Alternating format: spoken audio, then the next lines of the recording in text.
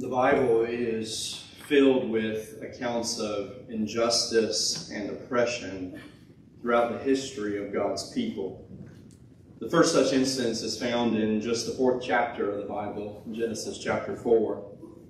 There we are introduced to Adam and Eve's two sons, Cain and Abel. Abel was a keeper of the sheep, Cain was a worker of the ground. We're told that both of them brought offerings to the Lord, and uh, the Lord accepted Abel and his offering, but had no regard for Cain and his offering.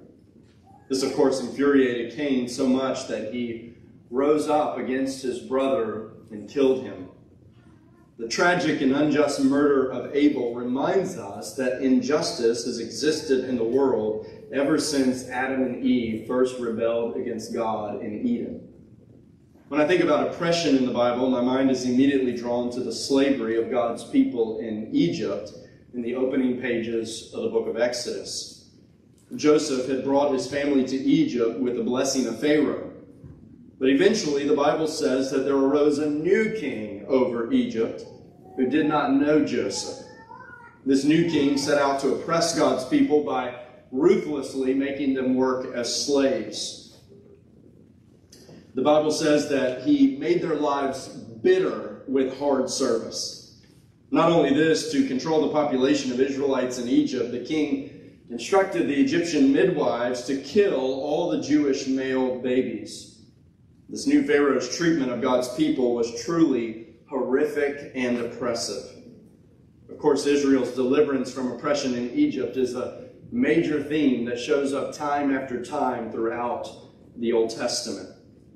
We could go on and on talking about instances of injustice and oppression throughout the Bible. Sometimes God's people were on the receiving end of injustice and oppression, and sometimes God's people were actually the perpetrators of injustice and oppression. The truth is that there has never been a time since the fall of mankind in Genesis 3 when there was no injustice and oppression on the earth. We see in Ecclesiastes that Solomon's day was no different.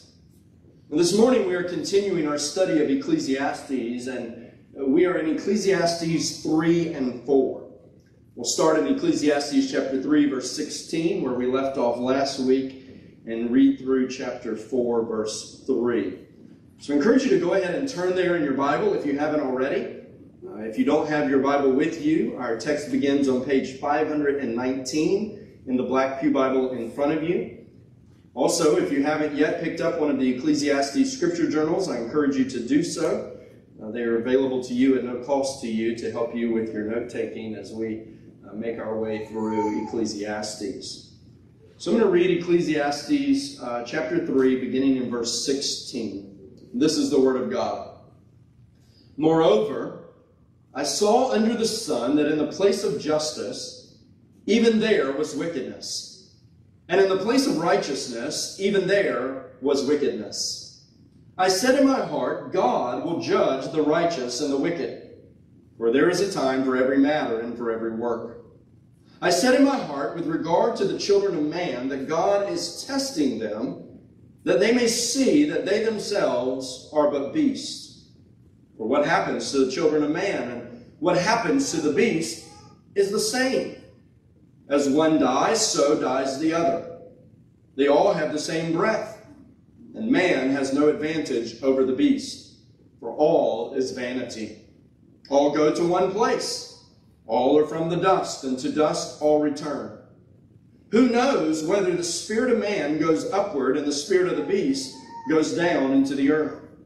So I saw that there is nothing better than that a man should rejoice in his work, for that is his lot. Who can bring him to see what will be after him?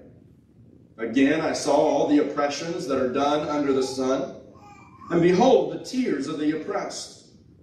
And they had no one to comfort them. On the side of their oppressors there was power, and there was no one to comfort them. And I thought the dead who are already dead more fortunate than the living who are still alive. But better than both is he who has not yet been and has not seen the evil deeds that are done under the sun. Would you pray with me? Father, we thank you for your word this morning. And Father, we pray that you would help us. Uh, every time that we are able to come together as your people to worship you and to hear from your word, God, it is a privilege. And so, God, I pray that you would help us, help me not to take this privilege lightly this morning. That we would devote ourselves to your word this morning, that you would give us ears to hear and eyes to see, and that you would use your word to make us more like Jesus and to set our hope in Christ. Help us, we pray. In Christ's name, amen. In this passage of Scripture, the preacher wrestles with two timeless questions concerning life under the sun. They are both questions that we all have to wrestle with at some point in our lives. I think we would like to have clear theological answers to these questions, but that's not what the preacher does here in Ecclesiastes 3 and 4. Instead, he gives us the opportunity and permission to ask these questions ourselves because they are, in fact, questions that we have. And he helps us to wrestle with them. So here's the first question that the preacher raises How do we live in an unjust world? How do we live in an unjust world? You see, the preacher wrestles with the reality of injustice. You see it there in verse 16. He says, Moreover, I saw under the sun that in the place of justice, even there was wickedness. And in the place of righteousness, even there was wickedness. In the place where there should be justice, the preacher saw wickedness or injustice. And in the place where there should be righteousness, he found wickedness or unrighteousness. The preacher isn't more specific than this about where the place of justice is or where the preacher the place of righteousness is. Perhaps by place of justice he means a court of law. Perhaps by place of righteousness he's talking about the assembly of God's people or the temple. Regardless, it seems clear from Ecclesiastes 3 that what the preacher saw when he looked at the place of justice and the place of righteousness and instead saw wickedness, it was unsettling to him. Why do you think the, preacher was unsettled by the wickedness that he found in the place of justice and in the place of righteousness? Why? I think he must have expected or at least hoped for something different, right? He wasn't expecting to find wickedness, or wasn't at least wasn't hoping to find wickedness in these places. I'm not terrified of snakes like my mom is, uh, but I'm not a big fan of them either. Uh, if I'm at a zoo or an aquarium, I don't mind going in the snake exhibit and uh, looking at all the snakes behind the glass, right? Uh, I'm even willing to touch a snake as long as someone else is holding it and controlling it. But if I find a snake on my front porch, when I'm taking off my shoes after cutting the grass, as I recently did, that's a completely different story. Because I'm not expecting that snake, right? It doesn't matter that it is a black snake. I don't, I don't want anything to do with a snake that isn't either contained or dead. A surprise snake is always unsettling. And when you think about a place of justice, you're not expecting wickedness there, right? When you think about a place of righteousness, you're not expecting wickedness there. And so when wickedness is what you find, it is unsettling to you. The preacher wrestles with the reality of injustice, and he helps us wrestle with it too. You're familiar with the sculpture of Lady Justice. She's blindfolded to represent impartiality. She's holding a set of scales which represent fairness. And she's holding a sword, right? And the sword represents swift or final justice. And I like what one commentator wrote when he said about this passage here in Ecclesiastes. He says, But here in Ecclesiastes, the blindfold is off, the scales off balanced, and the sword stolen. There's wickedness in the place of justice. The reality is, brothers and sisters, that we live in an unjust world, don't we? We've all heard stories of people who bore the brunt of our criminal justice system only for it to be discovered years later that they were actually innocent. We know that there are also times when those who are guilty of doing heinous things get off with a slap on the wrist or no penalty at all. Sometimes it seems that having a good lawyer is more important than being innocent. But why does the preacher expect justice? Why does the preacher expect righteousness? I think it's because our God is a God of justice. Our, God is a God of righteousness. And the truth is, brothers and sisters, that we are made in his image. Throughout the first three chapters of Ecclesiastes, we have been talking about the fact that things are not as they should be. We've been talking about the fact that this world is broken that things are not as God created them to be. And the preacher is wrestling with that reality. But because we're made in the image of God, our hearts long for justice. Our hearts long for righteousness. And the preacher in Ecclesiastes is no different. The clearest example of this, I think, is the small child who instinctively knows when something isn't fair. It's not right. It's not just. The truth is, brothers and sisters, our hearts long for justice and righteousness, which leads to the preacher wrestling with the judgment of God. Look at verse 17. He says, I said in my heart, God will judge the righteous and the wicked. For there is a time for every matter and for every work. We can't find justice under the sun.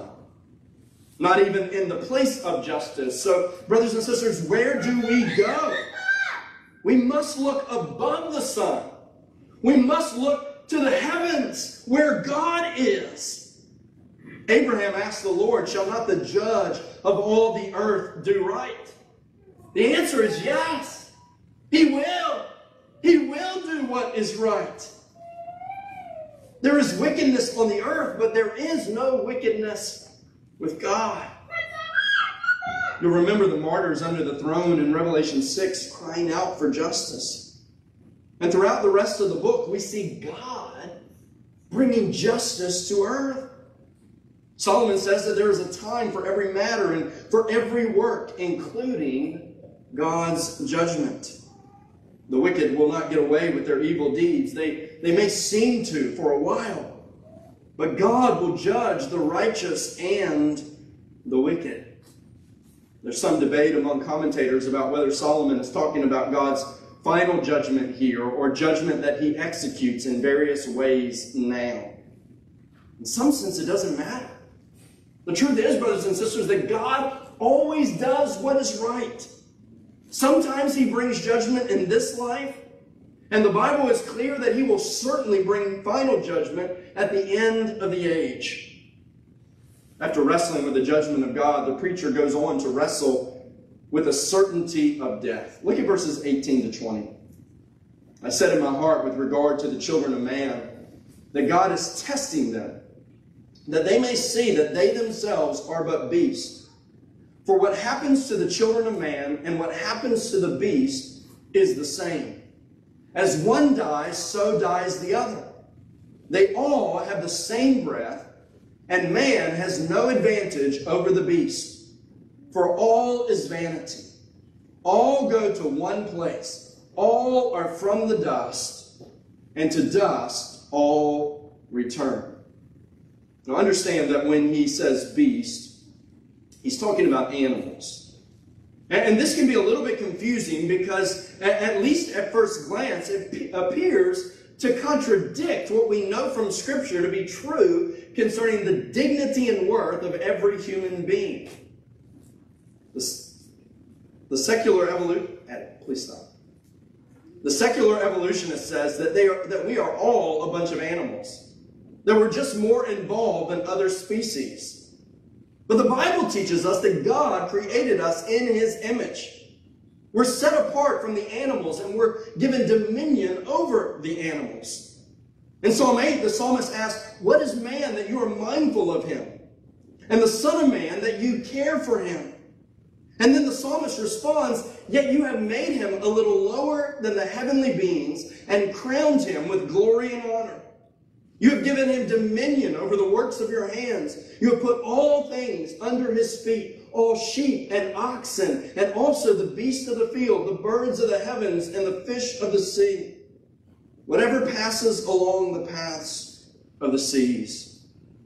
You see, as the pinnacle of God's creation, mankind is obviously more valuable than the animals. But that's not what Solomon is talking about here. Solomon is saying that just like the animals die, humans die too. And if this life is all that there is, brothers and sisters, then our fate is the same as the animals. We have no advantage over the animals, for all is vanity. We've been talking a lot about death in the book of Ecclesiastes, haven't we? Last week we saw that there is a time to die. We saw the reality that death is coming for every single one of us. Some of us sooner than others.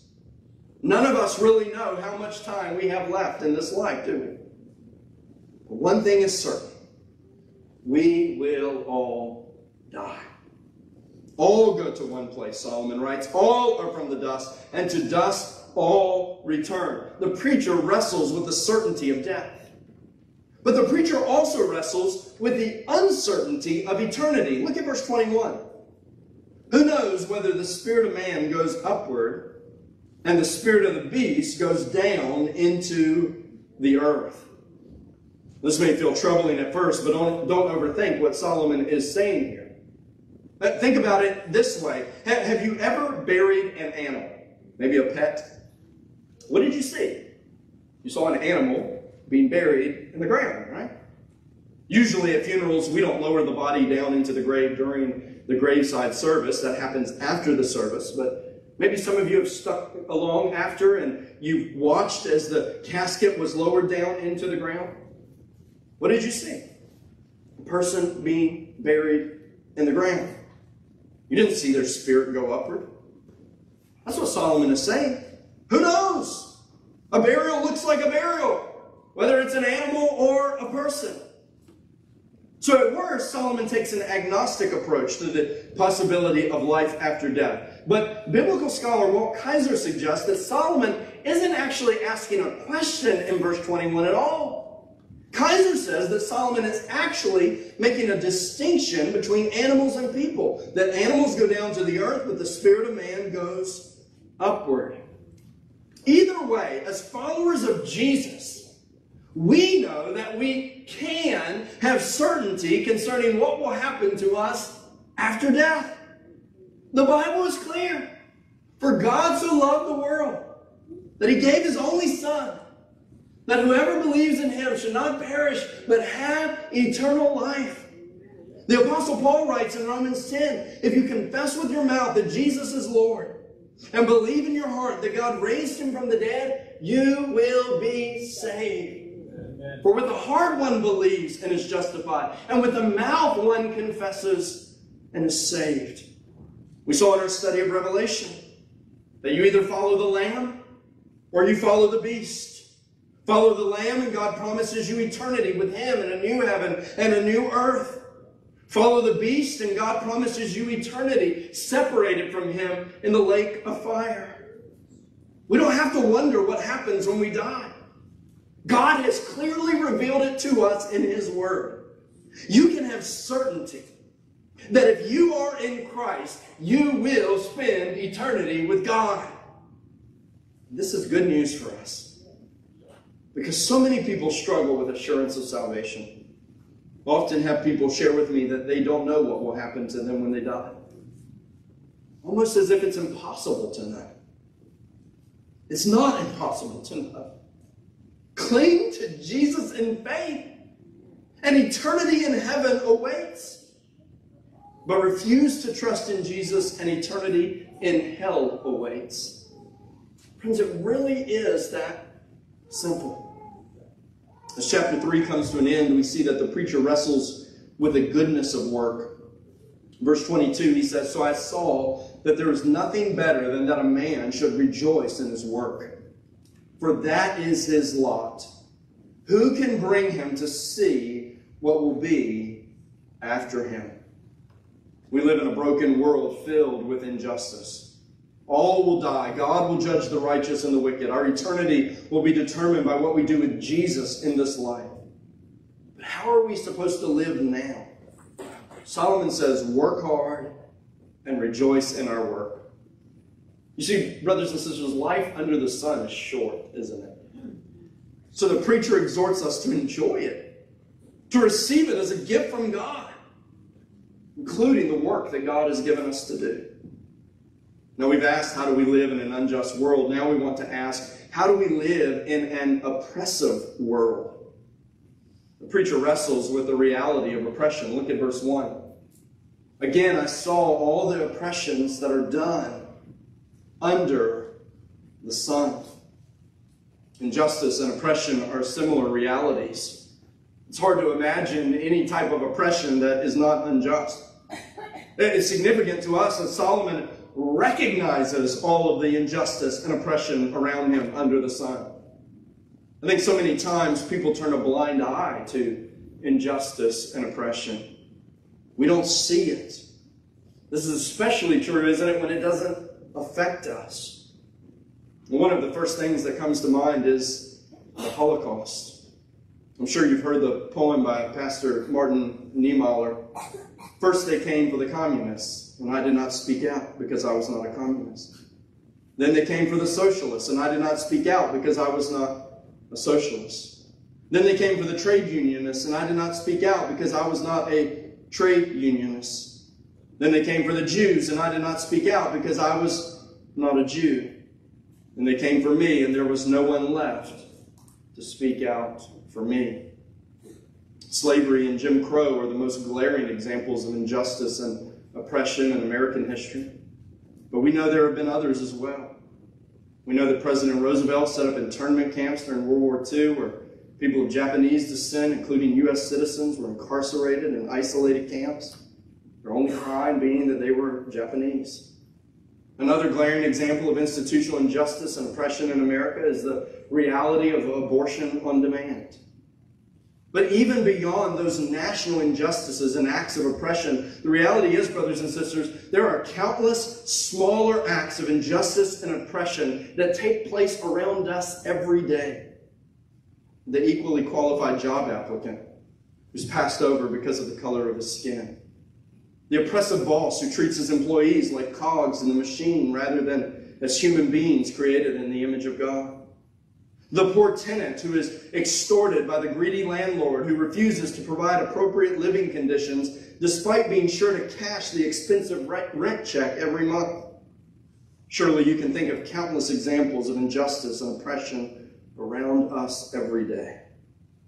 Like Solomon, we don't have to squint too hard to see injustice and oppression all around us in this fallen world under the sun.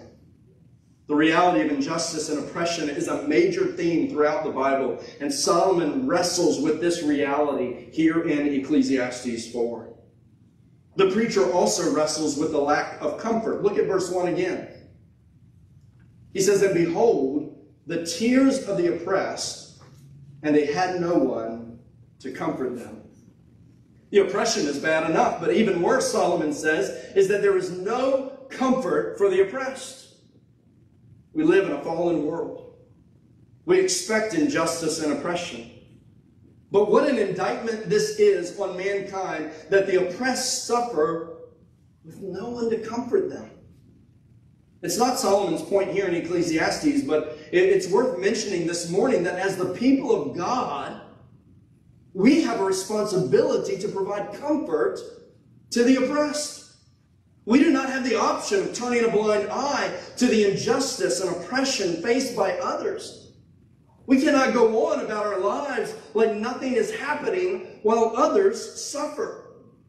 God tells his people in Jeremiah 22, Thus says the Lord, do justice and righteousness, and deliver from the hand of the oppressor him who has been robbed.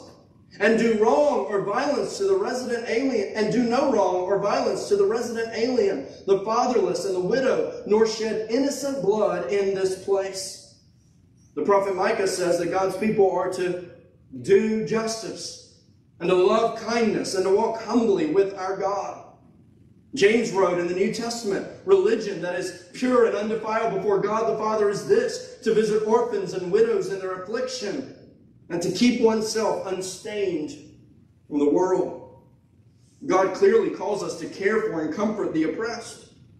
In our New Testament scripture reading this morning, Jesus rebuked the Pharisees for their lack of care for the oppressed.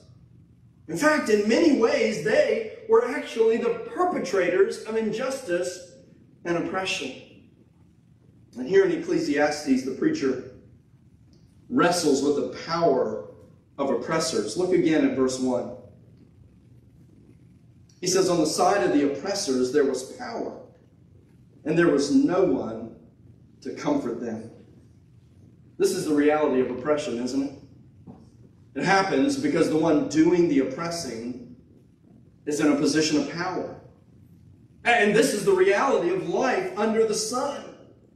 This leads to the preacher then wrestling with the fortune of death. Look at verse 2.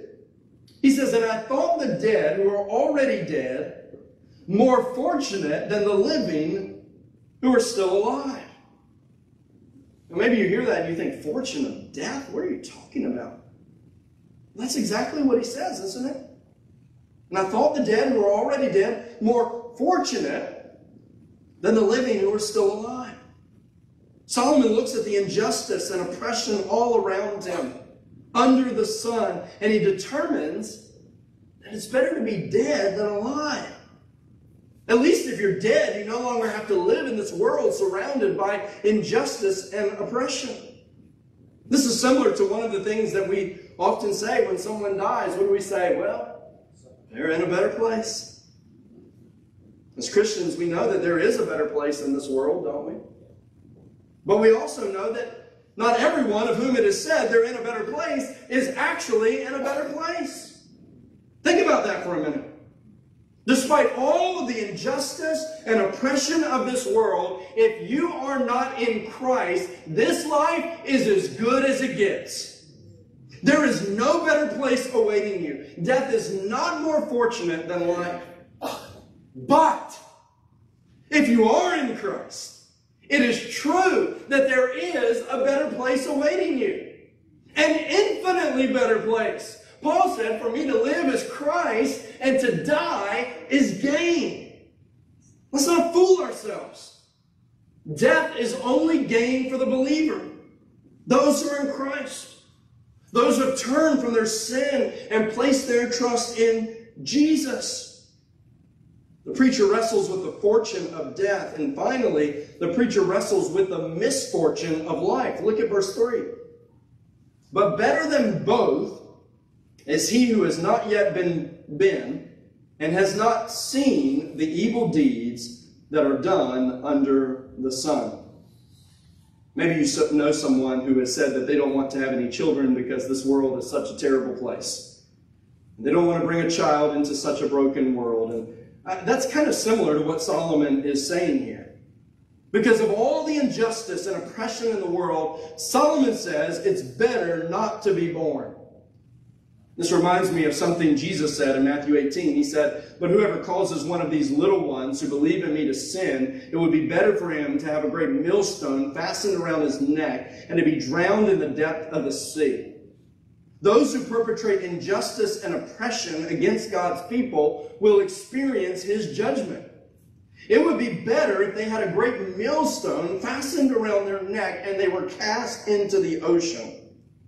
Jesus also said of Judas, He who has dipped his hand in the dish with me will betray me. The Son of Man goes as it is written of him, but woe to that man by whom the Son of Man is betrayed. It would have been better for that man if he had not been born. Notice that it's not the victims of injustice and oppression that Jesus says would be better off having not been born.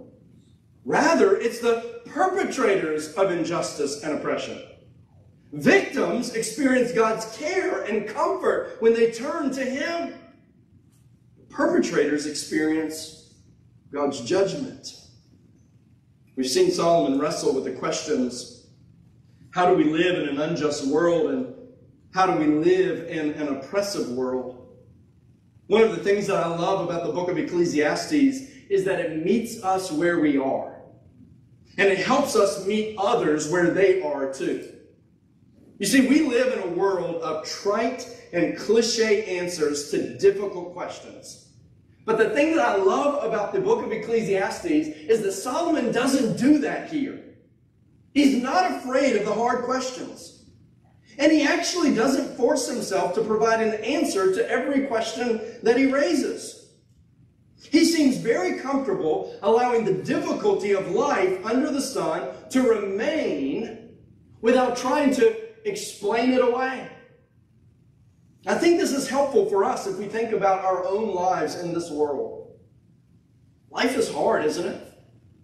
There are so many challenges that we face, so many difficulties that we walk through. And, and, Solomon gives us permission, brothers and sisters, to feel the difficulty of life. We don't always have to put a smile on our face when we don't feel like smiling. We can allow the difficulty of life to just be.